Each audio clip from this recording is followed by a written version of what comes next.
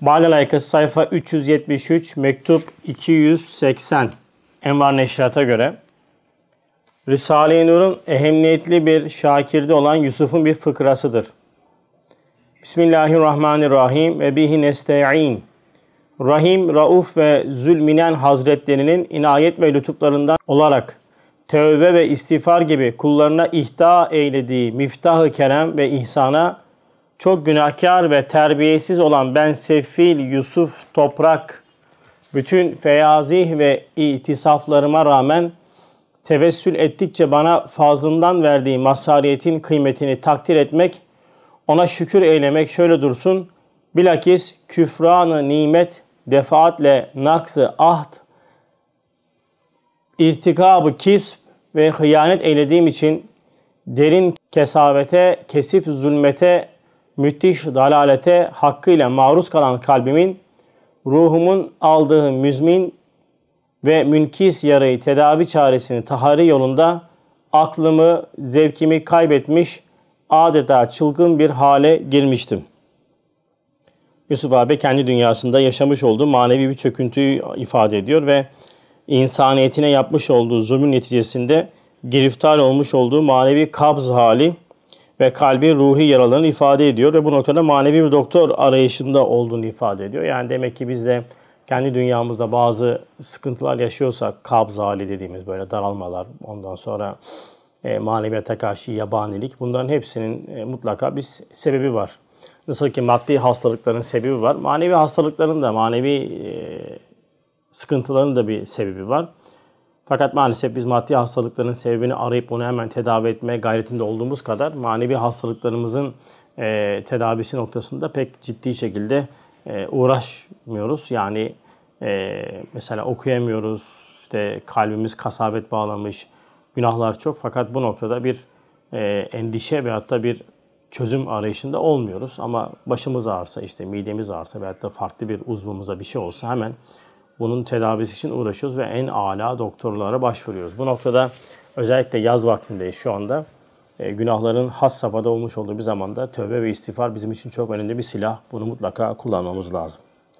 Başvurduğum her tabibi maneviden aldığım ilaçlar yarımı tedaviye, aklımı ikna, lehvemi iskata kafi gelmedi. Bizzar öyle. Kul ya ibadiyellezî esrafu ala enfusihim ayeti kerimesi. Yani de ki ey günahta aşırı giderek nefislerine zulmetmiş olan kullarım. Zümer suresinin 53. E, ayetini de ayet-i celilesinin mefhumuna tevessülen mevluf olduğum denaatlerden mütehassıl koyu lekeleri kal ve tathire ve tariki hakta sebata muin olacak bir rehberi ararken ortada hiçbir sebebi zahiri olmadığı halde memleketimden Kastamonu'ya nefim şüphesiz nefsime giran gelmiş hatta yeis ve teessüfe kapılmıştım. Yani Yusuf abi yine manevi noktadaki nefsine zulmetmiş olduğunu anlıyor ve bu noktada manevi buhranın esbabını çok iyi anlamış ve yakalamış ve şiddetli arayışın neticesinde Kastamonu'ya nefyediliyor. Yani tam böyle bir manevi doktor ararken bir de bunun üzerine Kastamonu'ya nefi var. Yani sürülmesi var. Bu noktada da bir ona ümitsizlik gelmiş. Yani ben manevi dertlerle uğraşırken bir de bu nefi beni çok ciddi şekilde yıpratacak tarzında bir düşünceye girmiş. Bilmiyordum ki bu nefim ile ve asa en tekrahu şey'en ve huve hayrun lekum ve asa en tuhibbu şey'en ve huve şerrun lekum vallahu ya'lemu ve entum la ta'lemun ayet kelimesi. Yani belki sevmediğiniz şey hakkınızda hayırlıdır. Bazen de sevdiğiniz şey sizin için şer olur. Allah her şeyi bilir, siz bilmezsiniz. Bakara suresinde geçen ayet-i kerime. Ve asa en tekrahu şeyhen ve yec'alallahu fihi hayran kethira. Ayet-i kerimesi. Yani e, Yusuf abi bu manevi buhran içerisindeyken kendine manevi bir halasker ararken birdenbire Kastamonu nefini zahiri şeye bakaraktan yorumlarken yani bu da bunun üzerine tam oldu gibi bir hal turuya giriyor. Fakat ayet-i ayet kerimede ifade edilen ne var? Sevmediğiniz şey hakkınızda hayırlıdır. Bazen de sevdiğiniz şey sizin için şer olabilir. Yani Allah bilir siz bilmezsiniz. Demek ne, ne olacak? Biz kendi dünyamızda başımıza gelen hadiseleri, vücuda gelen hadiseleri değerlendirirken bu ayet-i kerimenin mutlaka e, kendimize rehber yapacağız. Yani vücuda gelen işte olayda mutlaka hayır vardır ve o hayrı yakalamakla mükellefiz. Ee, biz bazen zahire bakaraktan iş kötü oldu, keşke böyle olmasaydı diyoruz ama iman, şuur iman bize bunu dedirtmemesi lazım. Yani işte kaderle ilgili bir tefekkürüm var daha yazmadım da. E, kader dediğimiz hakikat vücuda gelen şeyi rahmet noktasında çözümlemektir. Yani e, kader keşkelerimizi iyikilere çevirir. Hakiki manada o fakat kaderin bu keşkelerimizi iyikilere çevirmesi için sair işte beş tane iman esasında çok ciddi bir şekilde bir terakki gerekiyor. Çünkü kader İslamiyet'in ve imanın nihayet hududunu gösteren hali ve vicdani bir meseledir. Dolayısıyla e, Yusuf abi böyle bir halet ruhiye içerisinde kendine göre zahirde şer gözüken Kastamonu'ya nefindeki hayırları ifade edecek. Ayetlerinin sırrına mazhar edecek ve iltiyamı ümit ve imkansız gördüğüm manevi yaralarımın tedavisine muktedir doktorların ve yanlarındaki kuvvetli muallecenin eserini varlığını ve ismi hay ve hakimin cilvesini şefkaten göstermek suretiyle bana minnet üstünde minnet-i uhreviye yapmak içindir. Bu mülevves ahlakımla ben neciyim ki bu ihsan-ı azime nail olayım diye şaştım. Fakat lehül hamd vel minne men talebe vecede vecedeni ve kânel bil müminine rahime yecidullâhe gafuran rahima gibi. Yani ne demek? Kim Beni isterse beni bulur. Müminler için Allah çok merhametlidir. Ahzab suresi 43. ayet. Ve Allah çok bağışlayıcı ve çok merhamet edici olarak bulur. Nisa suresi 19. ayet gibi işaret-ı celile hatırıma gelmekle bir derece mütes müteselli oldum. Yani Kastamonu'ya geliyor ve Bediüzzaman Hazretleri ile tanışma fırsatını elde ediyor. Ve hatta hakikatlarla tanışma fırsatını elde ediliyor. Ve bu noktada e, ayet-i kerimenin kendi dünyasındaki karşılığını görmüş. Ey yaramın doktoru, ey dalalet uçurumunda yuvarlanan ruhumun halaskarı ve ey ilahi ve kutsi yolların rehberi. Yani arayış buluşla neticeleniyor. Çok enteresan. Yani manevi buhran bir sevk. Demek ki olayları, hadiseleri, kendi dünyamızdaki, iç dünyamızdaki sıkıntıları değerlendirirken bunların hepsinin birer hakikat basamaklar olduğunu unutmamak lazım. Yani Cenab-ı Hak bazen kabz haliyle, bazen musibetlerle, bazen hastalıklarla sıkıyor. Bir yerlere sevk ediyor. Eğer doğru analiz edebilirsek bu hakikatleri Kur'an'ı bir şuurla o zaman o arayış inşallah bizi e, çok güzel bir buluşa götürecek. Ama e, sıkıntının, dertlerin tedavisi iki şekilde olur. E, yani dert ve sıkıntıları giriftar olan insanların genelde yapmış olduğu şey iki yönlüdür. Ya nübüvvet makamına tabi olup e, kendini çekin edecek, analiz edecek. Ben ne yaptım ki, hangi fiiline kadar fetva verdim ki, bu gadrime seviyet verdim. E, inni küntümüne zalimin diyecek. Kendi kusurla yüzleşip bu zahiri şer ve sıkıntılardan kendine manevi bir e, terakki vesilesi yapacak. Veyahut da tam tersi sefate atılacak. Allah muhafaza beter olacak. Şimdi Yusuf abinin bu halet rüyesinden istifadesini ifade edecek. Evvelden hiç muharefimiz yokken seni kal'a üstünde ilk ve tesadüfen gördüğümde dalaletten halasın, Allah'ın rahmetine vüsulün en kısa yolu var mı diye sordum. Üstada sormuş ilk karşılaştığında. Dalaletten kurtuluşum için ve Allah'ın rahmetine ulaşmak için en kısa en kısa yol var mı diye sormuş. Çok kısa bir çare-i Kur'aniye vardır diye buyurdunuz. Fakat dalaletim, gafletim, enaniyetim itibariyle bu kısa ve merdane cevaptaki hikmeti azime nebaani rahmete dikkat etmedim. Ruhuma ihanet ederek aldırmadım ve felaketi manevide bir müddet daha kalmış oldum. Üstad böyle bir cevap veriyor fakat herhalde Yusuf Toprak abi buna pek kanaat getirmiyor. Yani çok kısa bir çare Kur'an'ya vardır derken kendini düşmüş olduğu bu manevi e, vaziyetten bu kadar çabuk çıkarılacak bir manevi rehber olduğunu pek e, ihtimal vermemiş. Yani tatmin olmamış. E, bu noktalarda da buna tevessül etmeyince de çok daha beter bir hale düştüğünü ifade ediyor. Vaktaki Risale-i Nur hatta Enhar-ı Nur demesine şayeste olan mektuplardan yine tesadüfen elime geçen bir nüshayı görünce ve münderacatındaki hakaike dalınca inayet-i Rabbani, mucat-ı Kur'ani, himamat-ı Subhani, keramat-ı Ruhani eseri olarak olmalıdır ki kasi kalbime, asi ruhuma, gafil aklıma, mağrur vicdanıma, sakim düşünceme tak diye bir tokmak vuruldu bir intiba halkası takıldı. Hemen düşündüm. Ulemanın midadı ahkam, aklamı şühedanın kanından mübecceldir. Yani üstündür. Ve el ulema'u verasetül enbiya yani alimler enbiyaların varisleridir.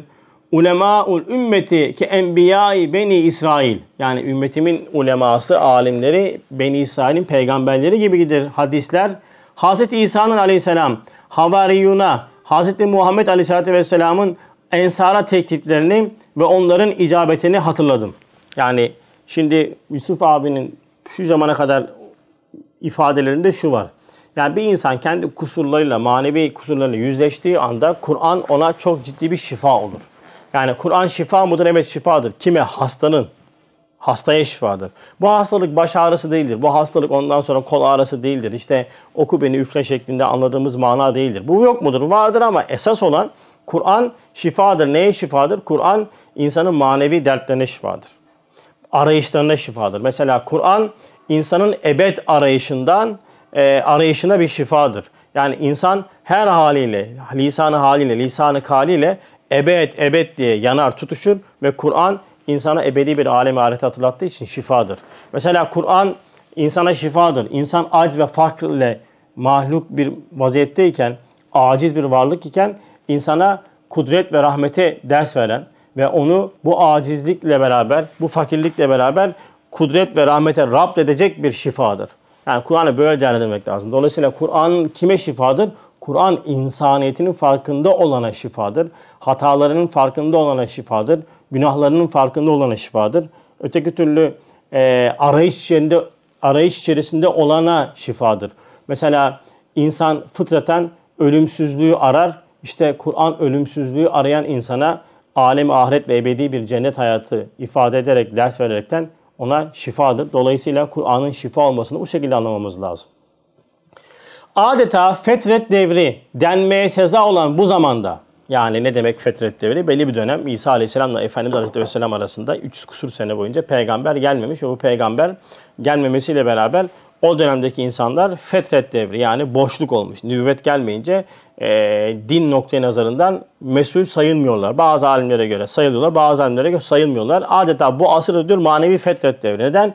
Nübüvvetle ilişkimizin çok ciddi şekilde zedelendiği bir devirde yaşıyoruz. Gerek geniş dünyada Deccal, alem İslam içerisinde Süfyan tarumar etmiş vaziyeti. O yüzden adeta fetret devri gibi bir dönemdeyiz. İrsiyet-i nübüvvet makamında ilahi kelimetullah uğrunda maddeten uğraşan, seyli dalaletle kapanmış olan, rahı hakka çığır açan bir reculü fedakara iltihak ve muavenet etmek ve bu vesile ile fırsatı ganimet bilerek zulümattan nura mahzar olmak lüzumunu his ve intikal ettim. Yani böyle bir zamanda olduğumu anladım ve bana hakkı anlatacak ee, ve dalalette olan ruhumu kurtaracak bir zatı aradım ve ona intikal etmem gerekli olduğunu hissettim. Pek adi bir mahluk olduğum ve kalbime müstevli ağır dalalet barbesi kalın perdesi altında hasta bulunduğum için fazileti maneviyatı anlamam. Zira fazileti takdir edebilmek, fazileti bilmek de mümkündür. Yalnız bunca mesavi ve mütereddit hareketlerin ve huzuru samilerine lütfen kabulümde yüksek ruhunuzdan yağan samimi şefkat, hakiki refet, halimane iltifat, kerimane hüsnü kabulünüz beni bir takım ümitlere, ihtiyarsız muhabbetlere sevk ve büyük sururlara gark etti. Yani Üstad Yusuf abi kabul edince e, bu noktada e, Yusuf abi sevincini ifade ediyor. Ve devamında mektubun şöyle diyor. Ancak Allah'ın en aciz, en aşağı, en günahkar, en zalim bir mahlukunu arkadaşlığa kabul ve tahammül eden bir şahsiyeti alalade olamayıp kuvvetli, püştibane, fütur götürmez bir mesnede malik olmak lazım geldiğini teyakkun edebildim. Vebtegu ileyhi vesileti ve cahidu fi sebilihi ve hasune ulaike rafika ayet kelimesi. Yani onun rızasına ulaştıracak vesileleri arayın. E, vebtegu ileyhi vesilete ve cahidu fi sebilihi. Ve onun yolunda cihat edin. Karşılıksız şekilde cihat edin diyor. Ve hasune ulaike refika ayet kelimesi de Nisa suresi 69. ayet. Onlar ise ne güzel arkadaşlardır. Yani bir ilk ayet Maide suresi 35, bu da Nisa suresi 69. ayet. Bu ayetleri ifade ediyor. Yani üstada olan tebayetini, arkadaşlığını bu iki ayet üzerine bina etmiş. Riyakarlık olmasın. Selim fikrinizden, ciddi tavrınızdan, Kur'an'a ittiba ve temessük yolundaki doğru irşadınızdan, hakiki sözlerinizden, samimi terkinizden, umumi hayırha hissiyatınızdan, kalbime mecruh, ruhuma uzanan tığ şifa, neşter ümidin tesiriyle dilşat ve mutmain oldum. Türlü türlü evhamın açtıkları menfezlerden rahnedar kalan ruhuma tamam ve muvafık buldum.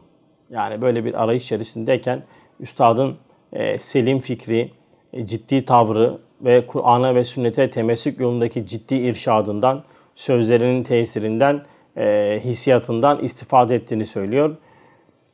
Zira ve tebe'un nurellezî unzile me'ahu onunla indirilmiş olan nura uyanlar. Araf suresi 157. ayet. Vellezîne yumessikumne bil kitap kitaba sımsıkı sarılanlara gelince Araf suresi 170. ayet. وَاَعْتَسَمُ بِحَبْلِ cemia Allah'ın ipine hep beraber hep birlikte sımsıkı sarılın. Ali İmran 103. ayet. Ve men ya'tesim billahi fakat hudiye ila sıratin müstakim. Her kim Allah'a sığınır ve onun dinine yapışırsa işte o küfre düşmekten korunup doğru yola ulaştırılmıştır. Ali İmran 101. ayet. Fakat istemseka bir urvetil vuthka. Hiç kopmayacak bir zinciri nuraneye yapışır, temessük eder Allah'a iman edenler. Bakara 256 Lokman 22. ayet. Ve nünezzile minel Kur'an ma ve şifaun ve rahmetun ve rahmetun bu ayet-i lil müminin diye devam ediyordu herhalde. Ee, bu da ne demek? Biz Kur'an'dan müminler için bir şifa ve rahmet olan hakikatleri indiriyoruz. İsra suresi. 82. ayet. Hâzâ beyanun linnâsi ve huden ve mev'izetun lil muttaqin ayeti kelimesi. İşte bu ayetler insanlara hakikati apaçık gösteren bir beyan ve takva sahipleri için bir hidayet rehberi ve bir öğüttür. Ali İmran 138. Tilkel hududullah. Bunlar Allah'ın sınırlarıdır. Bakara suresi 187. ayet. Kad ca'ekum minallahi nurun ve kitabun mübin ayet kelimesi. Gerçekten size bir nur ve hakka apaçık bildiren bir kitap gelmiştir. Maide 15. Ve enne hâzâ sırâtin müstakim işte benim dost doğru yolum budur. En'am 153. E, ayet. Men ittebe'a rıdvanehu subulen selam ayeti kelimesi. Allah kendi rızasına uyan kimseleri selamet yollarına eriştirir. Maide 16. Yani e, Yusuf abi hakikatlarla bulduğu hidayeti ifade ettiği ayetler çok enteresan. Yani hissetti, hissetmiş olduğu halet-i karşı bu ayetlerin karşılıklarını Bediüzzaman Hazretlerinde ve hakaiki imaniye ve Kur'an'ı olan lisan-ı hakikatlerinde bulduğunu ifade ediyor. Yani gerçekten de müthiş Kur'an'a bir muhatabiyet örneği de var burada yani. Vesaire gibi hakikatler dimama yerleşti. Elbette bu keyfiyet bana haccı ekber, rahı saadet, ömrü ebed, tayyiri devret, enfali ganimet sebebi olunca sürurumdan ne kadar kabarsam ve siz halaskar ve hakimi derdime hakimi derdime ne kadar teşekkür ve ishar mahmidet eylesem hakkım olmaz mı? İşte bu vesiledir ki beni Kur'an dellalına, Lisan-ı Nur müellifinin şakirtliğine tahsis ve kabul ettirmek gibi azim lütuflarına mazhar kılan Rabb-ı Rahim'ime karşı dünyada kaldığım ve imkan bulduğum müddetçe kalemimi, hayatımı bu uğurda istimal etmeye söz ve karar verdirdi fazlaca söz söylemeye salahiyetim ve o mertebeye istikakım olmadığından şimdilik kısa kesiyorum. Hizmetiniz umumi ve müessir, amaliniz muvaffık, hizmetiniz al, himmetiniz ali ve daim. Emeğiniz makbul, sayiniz meşkur, hayatınız mesut, ömrümüz efsun, sıhhatiniz mahfuz olsun. Sonsuz minnettarlığımın kabulünü, manevi himmet ve teveccühünüzün devamını rica eder. Nur ile meşkur, nurlu ellerinizi öperim. Efendim büyüğümüz 15 Şubat 1359 talebe namzedi Sefil Yusuf Toprak.